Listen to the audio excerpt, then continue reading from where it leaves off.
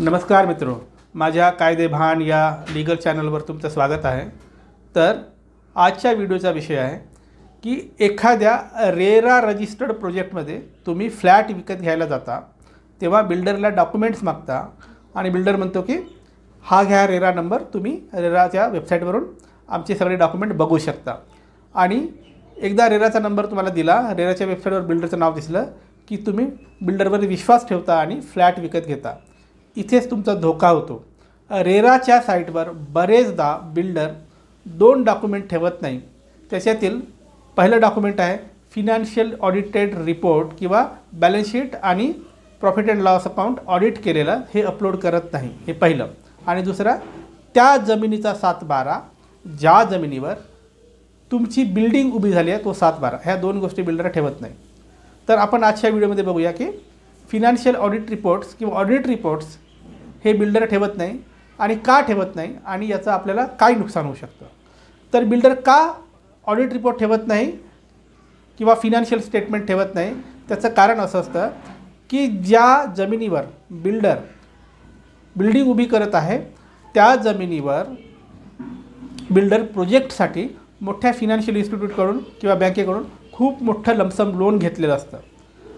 आणि ही जमीन ज्याच्यावर टॉवर बांधून तुम्हाला फ्लॅट विकण्यात येत आहे हा टॉवर ज्या जमिनीवर उभा आहे ती जमीन बिल्डर त्या फिनान्शियल इन्स्टिट्यूटला गहाण ठेवलेला असतो.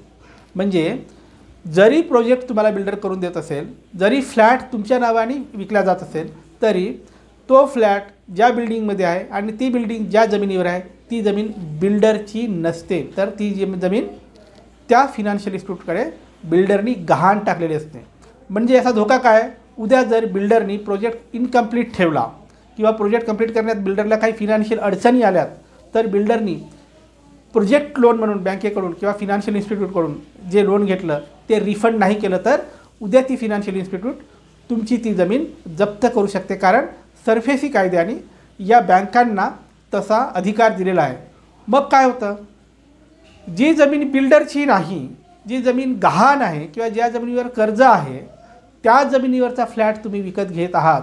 म्हणजे तुम्ही एवढे लाखो करोडो रुपये भे भरून फ्लॅट घेतात.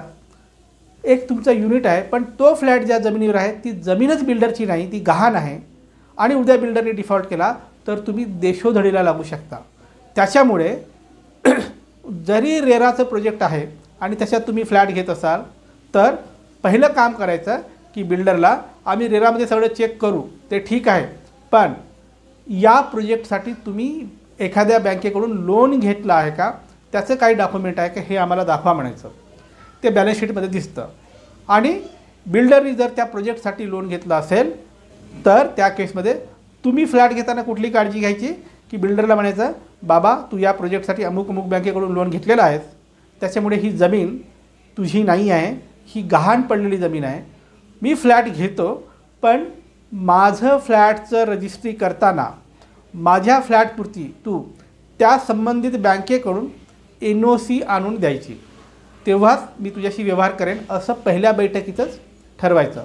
बिल्डर जर तुमच्या फ्लॅटच्या खरेदीसाठी त्या संबंधित बँकेकडून एन ओ सी आणत असेल नो ऑब्जेक्शन सर्टिफिकेट आणत असेल तरच तुम्ही रेरा प्रोजेक्टमध्ये फ्लॅट बुक करा पैसे द्या आणि रजिस्ट्री करा.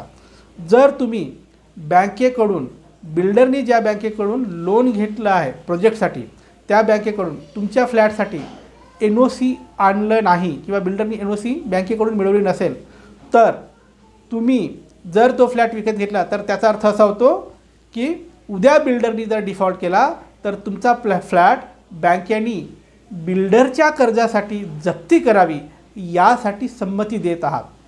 पण जर तुम्ही बिल्डरच्या कर्जासाठी बँकेकडून एन ओ सी आणलात तुमच्या फ्लॅटपुरतं तर मात्र त्याचा अर्थ असा होतो की उद्या जर बिल्डरने डिफॉल्ट केलं त्या बँकेला प्रोजेक्ट लोनचं रिफंड नाही केलं तर बँक या प्रोजेक्टला या जमिनीला जप्ती करू शकते. पण त्या जप्तीमध्ये तुमचा फ्लॅट एक्सक्लूड केला जातो.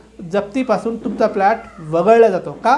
कारण तुमच्या फ्लॅटच्या खरेदीच्या वेळी तुम्ही बँकेकडून तशी एन ओ सी घ्यायला बिल्डरला भाग पाडलात आणि ती एन ओ सी लावूनच तुम्ही तुमच्या फ्लॅटची खरेदी खत किंवा सेल डीड रजिस्टर्ड केलात.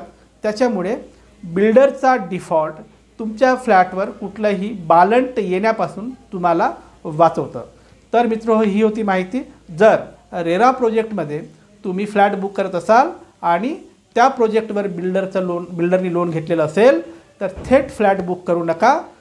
बिल्डरनी ज्या बँकेतून लोन घेतलं त्या बँकेतून तुमच्या फ्लॅटपुरता एन ओ सी मिळवा आणि नंतरच फ्लॅटचा व्यवहार करा. तर मित्र तुमच्यासाठी असंच मी कायद्याशी संबंधित वेगवेगळी माहिती आणत राहीन. कायद्याचं ज्ञान वाढवण्यासाठी माझं लिगल चॅनल कायदेभान पाहत राहा. आणि हो ज्यांना सल्ला हवा आहे ते मला संपर्क करू शकतात पण थेट फोन करायचा नाही अजिबात फोन करायचा नाही.